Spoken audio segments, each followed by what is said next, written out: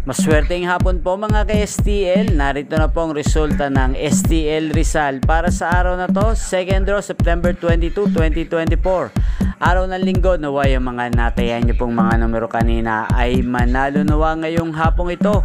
4pm kaya kunin niyo na po ang inyong mga tickets. Narito na po ang resulta.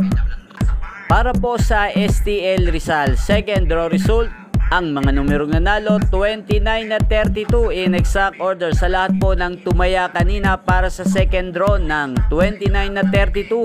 Panalo po kayo. Congrats po.